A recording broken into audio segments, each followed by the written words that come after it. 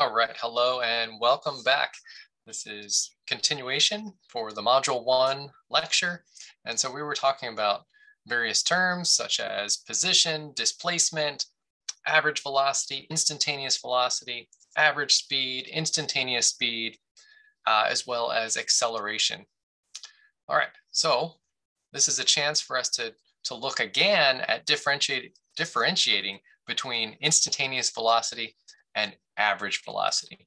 So if we look from A to B, the initial position is five meters, final position is 10 meters, starting time was zero, as I mentioned, a lot of times we'll start at zero, and let's say we'll call it 0.75 seconds for the final time. So the displacement, uh, final position of 10 meters minus initial of five meters is five meters, 10 minus five is five, and then five divided by the time 0.75 is 6.67 meters per second. That's the average velocity from A to B.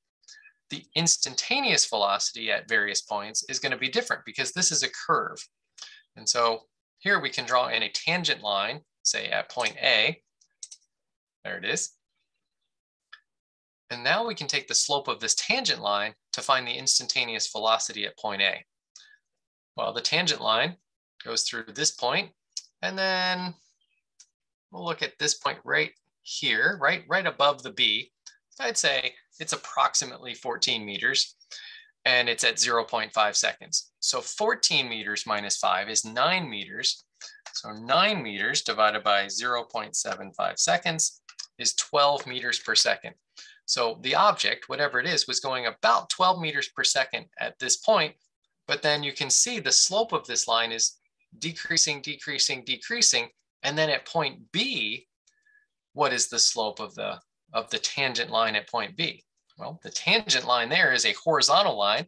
And hopefully you remember the slope of a horizontal line is zero. So that means the instantaneous velocity is zero there. And then if we looked further, if we look at the instantaneous velocity, say here, right in between B and C, and I don't have a graphic to put in, but hopefully you can see my mouse here. That is a negatively sloped line. And then you go further along and it is a steeper negatively sloped line. So the object's getting faster and faster, but now it's going in the opposite direction or the negative direction. So hopefully that gives you a little more to go on in terms of instantaneous versus average velocity. All right, here's some more graphs that we can look at. And this is talking about what I was saying before, but now it's written down the slope of the position versus time graph at any moment is equal to the instantaneous velocity. So again, we could look at some points here with a small positive velocity, and this is a tangent line at about right there, about two seconds. Small positive velocity. So here's a small positive number, that's about six or so. And then we look later on at five, at, well, this is not five seconds, about four seconds, I guess. So the tangent right here, this is a steeper line, which means it has a greater slope. And remember the slope of the position versus time graph is equal to the velocity. So a bigger velocity. So we took the, we calculate, or we didn't really calculate, we just talked about it, looked at the line, small positive slope for this line, and a bigger positive slope for this line, which is at this time period, about four seconds. And then interestingly, from this time right here to this time right here, the slope remains constant. So if the slope is constant in here, that means the velocity is constant in those time periods as well. And that is represented on here. This is a constant velocity. At four seconds, the velocity was eh, 16 meters per second. And then at five seconds, the velocity was 16 meters per second. And at call it seven seconds, the velocity is still 16 meters per second. Here we have still positive slope on this part, but the slope's getting less and less. And that you can see right here, the slope's getting less and less. And then right here at the peak, tangent line would be horizontal, so that's zero velocity. And then over on this side, negatively sloped, small negative slope here, bigger negative slope, bigger negative slope, which is what we're seeing right here, bigger and bigger negative numbers. So in this case, the velocities are all negative, but the object's speeding up. When I say it's speeding up, what do I, what do you mean? The graph's going down. That seems kind of weird. Well, think about how fast the object's going right here at 15 seconds. It's going zero meters per second. So if it's gonna move, it's gonna be speeding up because you can't go any slower than zero. How fast is it going at this time? Say like right here. Well, if we look across, that's about five meters per second.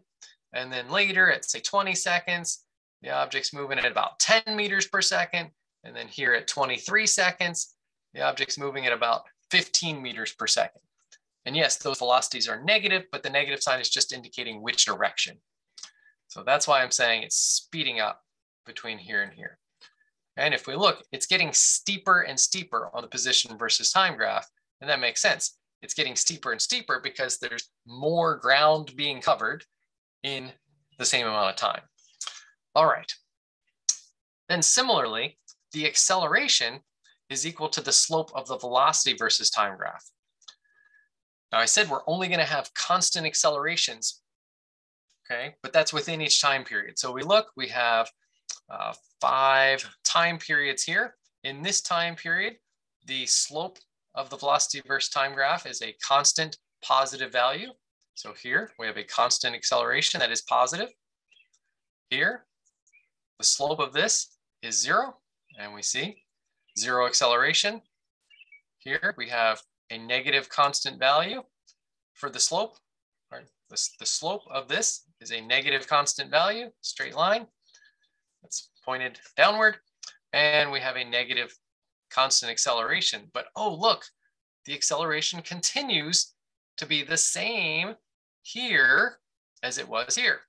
So this whole time from seven seconds down to 23 seconds, the acceleration is the same. Even though the object changes direction, the acceleration doesn't change during that time period. Hmm, that's interesting. Um, is it possible for that to happen? Absolutely. We, we definitely have cases where that can happen. Um, an example in, in horizontal motion uh, could be a, uh, a little cart and with a fan on it. And if we push the cart so that the fan is acting to slow it down, the cart will get slower and slower. And then once the cart stops, it will come back the other direction and get faster and faster. In the vertical direction, we, we had much more common examples of that, which is if you toss something up, it gets slower and slower, and then it comes back down, it gets faster and faster, and it has a constant acceleration the whole time. And we'll get to that in module three. All right, so there's lots of examples in here of how you can use the slope of this graph to figure out the velocity, and you can use the slope of the velocity graph to figure out the acceleration. Okay, this slide has some, oh wow, that's a lot of stuff on there. Um, so I'm not gonna go through all of that, but it's more examples of the same things that I was talking about before. If you'd like, definitely pause the video here and take a look at it and let that help your understanding as well. Um, here you can see a plane flying, uh, not technically one-dimensional motion. It's, it's as it goes in for the landing, it's kind of close to one-dimensional motion uh, on a slant. Um, or if we just looked at it only on the runway when the plane was just on the ground, that could be one-dimensional motion. Um, so it's just another example of kinematics in our lives. Um, but there's two bullet, well, they're not bullet points, but there's two sentences down here. These are really important. When an object speeds up, its velocity and acceleration are in the same direction. And when an object slows down, its velocity and acceleration are in opposite directions. So velocity and acceleration are both vectors. And when those vectors are in the same direction, whether they're you know, both to the left or both upward or both to the right, the objects, that's describing an object that's speeding up. But when the velocity and acceleration vectors are in opposite directions, whether that's left and right or up and down or whatever, that's describing an object that's slowing down. And we'll see this numerically. Um, and if you watch the, the video that goes with the note packet uh, for the, the motion, there's six motion diagrams where you'll be asked which way is the velocity, which way is the acceleration, is it something slowing down or speeding up?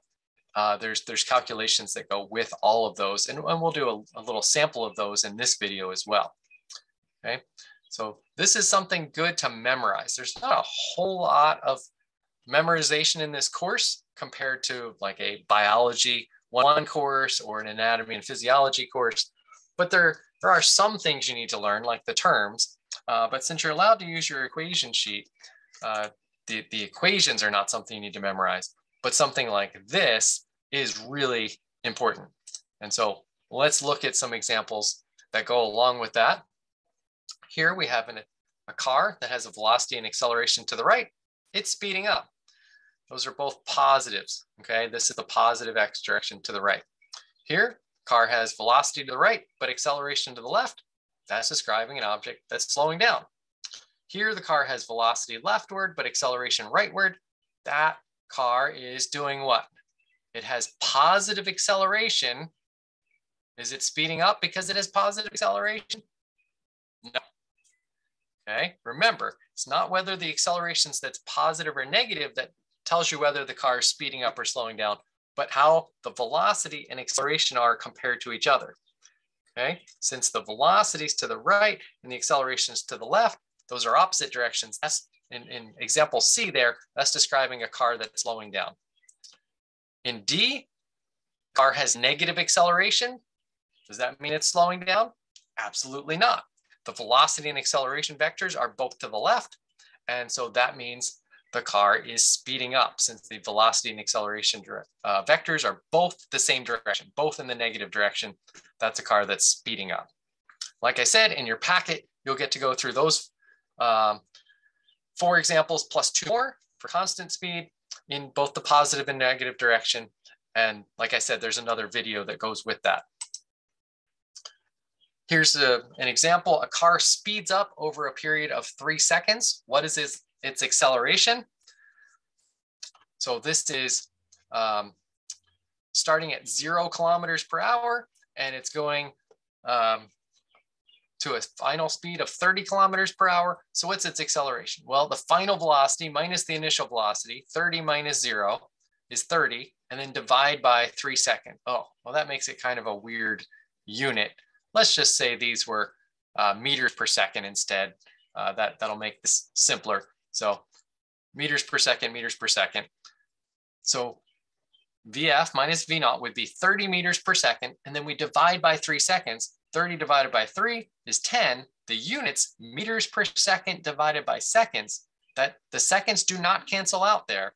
You get meters per second per second or meters per second squared.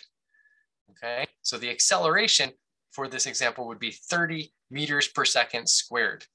And again, I'm, I'm just chaining the units here. Uh, I didn't realize that before I started making the video. So we'll make that change, make it easier. In this case, same idea.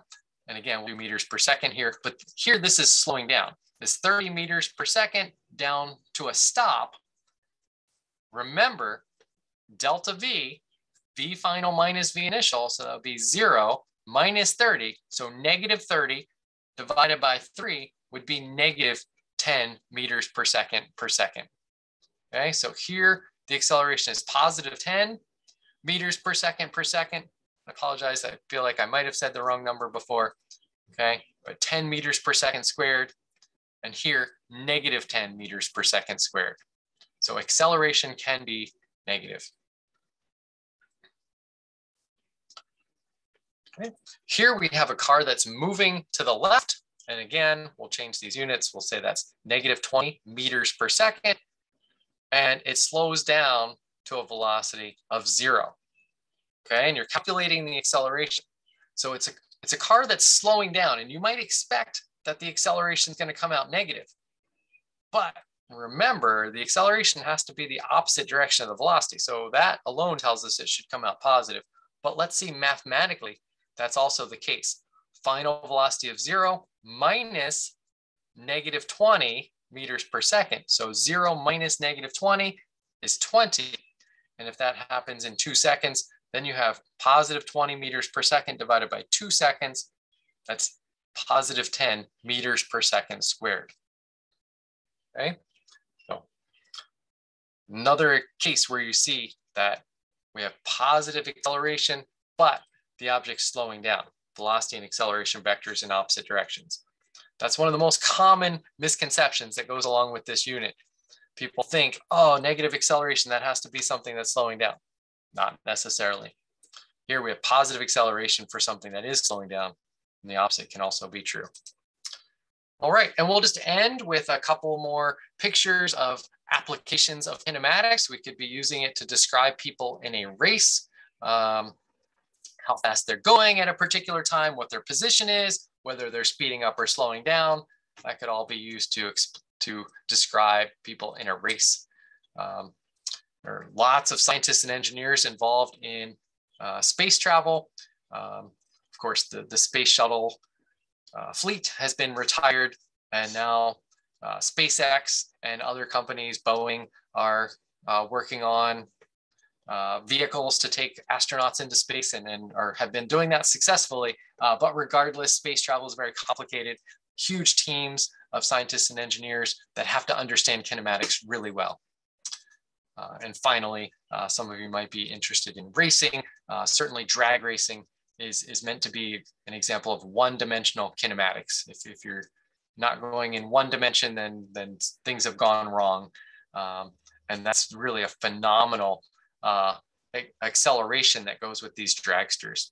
Uh, that's a, that, I, I, could go on and on about the amazing acceleration and, and we could get into some ca calculations that go along with that, uh, but I'll, I'll stop here. So if you have any questions, feel free to follow up with me. Uh, remember, there's lots of other videos for this module under the student note packet assignment.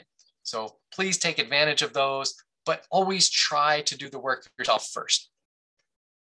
Okay, you're going to get a lot more benefit if you've tried it yourself and given it your best effort before you go in and watch the video. Once you watch the video, yeah, correct anything you did wrong, but it's so much more valuable if you try it on your own first. All right, thanks for watching.